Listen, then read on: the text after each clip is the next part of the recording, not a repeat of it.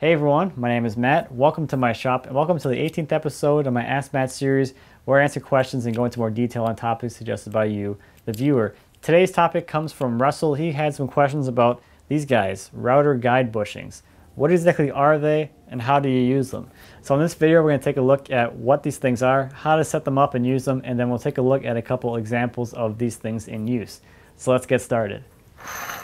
So these are guide bushings, and as you can see, they come with various different inside and outside diameters, as well as different lengths of the barrel.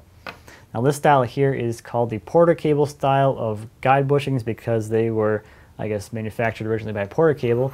But other manufacturers have different mounting styles, such as this one from Bosch.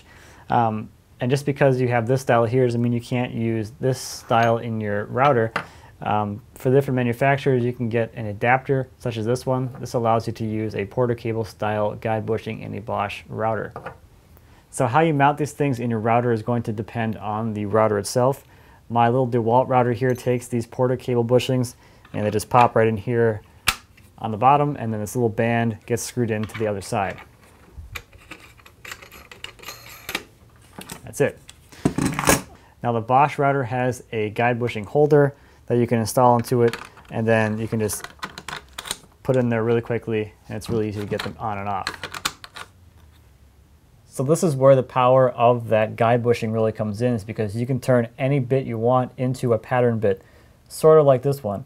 You could turn this straight spiral bit into a pattern bit. You could turn this ovolo bit into a pattern bit. Or you could turn this dovetail bit, for instance, into a pattern bit all using just a guide bushing. The same concept is going to be true here, except the only difference is the guide bushing itself is mounted to the router and not the bit.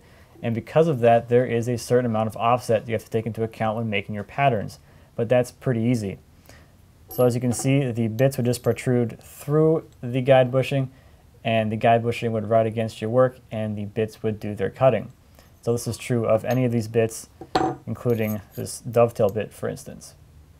So let's take a look at this offset concept in a little more detail because this is going to be really important for setting up your templates and patterns.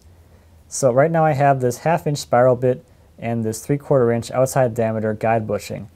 The guide bushing out here is where your template will ride and then the cutter will be back here cutting the workpiece. So the difference between this half inch and 3 quarter inch outside diameter is a quarter inch which means that there is an eighth of an inch radius or the difference between the outside of the guide bushing and the outside of the cutter is an eighth of an inch. So when you're making your templates or your jigs, you take that eighth of an inch into account because the cutter does not cut exactly at the outside part of the guide bushing like a pattern bit would.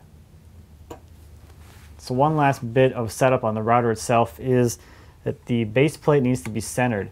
On all routers, the base plate is held in with screws in these larger holes, which allows this base plate to wiggle around so you can actually center this base to the center of the spindle on the router. And that can be done really easily with one of these. This is a centering cone. You can mount this into your router's collet and then put your router into the base plate or into its base. I can just plunge the router down until the base plate contacts the cone and then I can tighten down the screws. Probably the most common place you're going to see a guide bushing used is on one of these, a dovetail jig. The guide bushing will ride along the fingers in the jig and the bit will remove the waste to reveal either the tailboard or in this example, the pin board. So let's take a look at a few examples of using these guide bushings throughout your shop. This first I'm going to show you is how to drill a hole with your router. And here I have a half inch spiral bit with a three quarter inch outer diameter guide bushing. And all I'm going to use is this block of wood, this little guide. So a 3 quarter inch hole in the block with a 3 quarter inch guide bushing means that when the guide bushing goes into the block, the router cannot move. That way you can plunge the router down and drill a hole with your spiral bit. Now if you want to make an even bigger hole, that's easy as well. On this end here, I have a 1 inch hole, same 3 quarter inch diameter guide bushing, same half inch router bit, but now when I put the guide bushing down into the hole, there's a little bit more room for the guide bushing to move around. And in this case, this setup will give you a 3 quarter inch diameter hole. So this technique is going to be really helpful if you have a large workpiece that you can't get underneath your drill press and you need that hole to be nice and perpendicular or you don't have a drill press for instance. So this would be really easy to just clamp this down to like this workbench for instance, plunge the router down and it'll have a hole exactly where I want it really quickly and accurately as well. Now another thing you can do with the same concept is you can take a block, nice long block and drill a bunch of these holes in it sequentially, evenly spaced down the line and then you can have a shelf pin drilling jig that way. You can just walk down the line with your router and drill all your shelf pins in exactly the right locations really quickly, really effectively, and really accurately. So how about a dead simple way to make some mortises? This jig is made up of three strips. The two outside strips, their width doesn't really matter. They're just there to make a base for the router. The inside one is cut in half and slid apart from each other to create a window that the guide bushing will fit down into.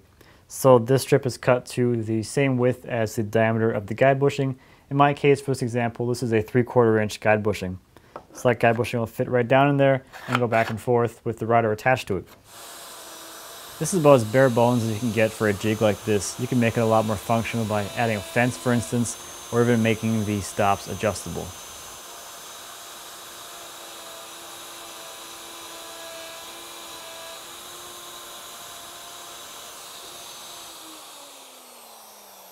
So there you go, a really simple way to make some mortises. This was cut with that half inch spiral bit again. And one thing to keep in mind when setting up this jig is the offset of the guide bushing versus the bit you're using. In my case, that's an eighth of an inch. So this mortise is two and three quarter inches wide, and the opening in the jig itself is three inches wide. That's one eighth of an inch per side for a total difference of a quarter inch. And lastly, here's the technique that brought about Russell's question.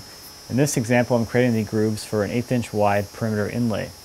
I'm using an eighth inch diameter bit with the guide bushing that rides against the curved template. In this case, the guide bushing was necessary because you can't get a pattern bit that is only an eighth of an inch wide. So I hope these few examples of using a guide bushing inspires you to find some creative way to use this in your shop as well. And really, the guide bushing just makes the router even more of a versatile tool. If you use guide bushings a lot in your shop and you have a favorite technique, please feel free to leave those down in the comments below. It's always great to potentially learn something new, and if someone else is looking through there looking for some new techniques, they'll be able to find something there as well.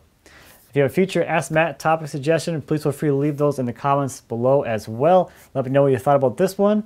And as always, thank you for watching. If you have any questions or comments about anything I talked about today or anything here in my shop, please feel free to leave me a comment. As always, I appreciate those, and I'd be happy to answer any questions you might have. And until next time, happy woodworking.